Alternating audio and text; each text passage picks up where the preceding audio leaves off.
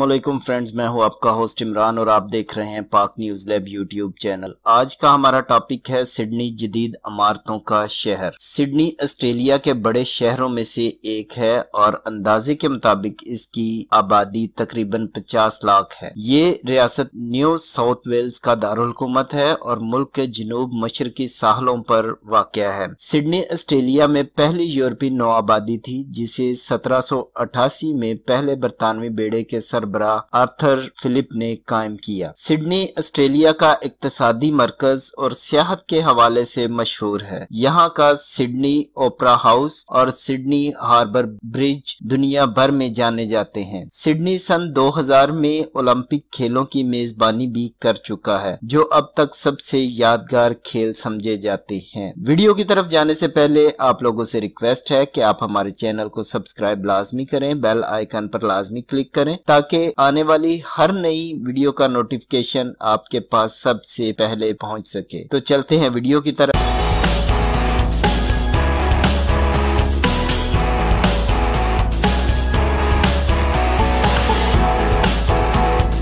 One central park. Council of tall building की तरफ़ से सिडनी की वन सेंट्रल पार्क नामी इमारत को बेहतरीन बुलंद इमारत भी करार दिया जा चुका है। 2013 में तामीर होने वाली ये वन सेंट्रल पार्क नामी इमारत 116 मीटर यानी 380 फीट बुलंद है, जिसकी बैरूनी सतह पर मुख्तलिफ़ पौधे और सब्ज घास उगाई गई है। पौधों और खूबसूरत फूलों की वजह से इसे अमूदी बाग के नाम से भी पुकारा जाता है। इस इमारत में रहायशी अपार्टमेंट्स के साथ साथ शॉपिंग प्लाजे भी मौजूद हैं, जहाँ सियाह कई मशहूर आलमी ब्रांड्स की खरीदारी कर सकते हैं। ये इमारत तोानाई के लिहाज से भी माहौल दोस्त है। इसमें सूरज की रोशनी के ज़रिए घरों को गर्म रखा जाता है। सिडनी हार्बर ब्रिज पुल। सिडनी हार्बर ब्रिज पुल को बने हुए तकरीबन 80 साल हो गए हैं, लेकिन इसकी इस्तकामत और हुस्न में कमी नहीं आई। सिडनी में वाक़ ये पुल दिकोर्ट हैंगर भी कहलाता है। ये आठ साल के अरसे में 12 मिलियन डॉलर की लागत से तैयार हुआ, जिसकी लंबाई तीन हज़ार सात सौ सत्तर फीट है। सियाहों की बड़ी तादाद पुल देखने के लिए सिडनी आती है, क्योंकि यहाँ से शहर का नहायत दिल फेब मंजर नज़र आने के साथ साथ बंदरगाह साहिल और सिडनी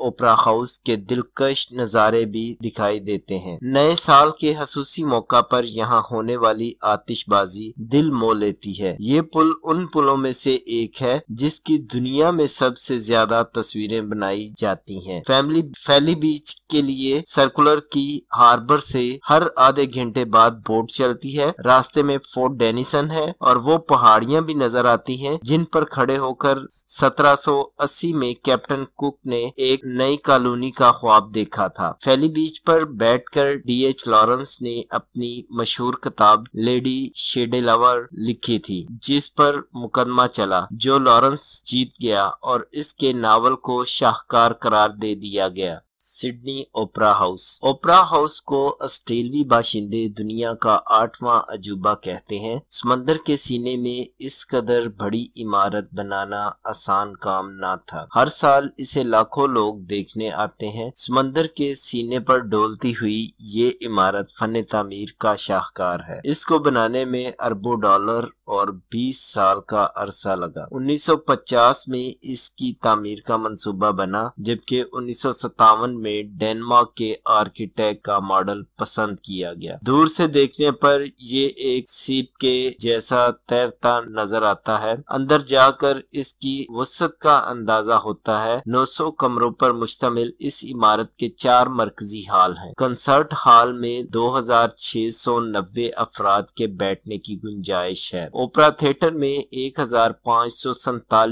नशिस्तें हैं। इतने ही लोग ड्रामा हॉल में समा सकते हैं। इसके अलावा एक सिनेमा हॉल भी है, Sydney Tower. Sydney Tower Sydney का सबसे बड़ा टावर है, जिसे Sydney Tower I A M P Tower, Westfield, Centrepoint Tower, Centrepoint Tower और सिर्फ़ सेंटर पॉइंट भी कहा जाता है। ये tower World Federation of Great Towers का रुकन भी है। ये टावर 309 मीटर बुलंद है, जो गैर मुल्की सियाहों को अपनी जानब खींचता है। सिडनी टावर की तामीर 1975 में शुरू हुई और इसे अगस्त उन्नीस सौ इक्यासी में अवामल नाज के लिए खोल दिया गया। इसकी तामीर पर 36 मिलियन ऑस्ट्रेलवी डॉलर्स की रकम खर्च हुई। इस टावर में एक वक्त में ज़्यादा से ज़्यादा 960 अफराद के जमा होने की गुंजाइश है।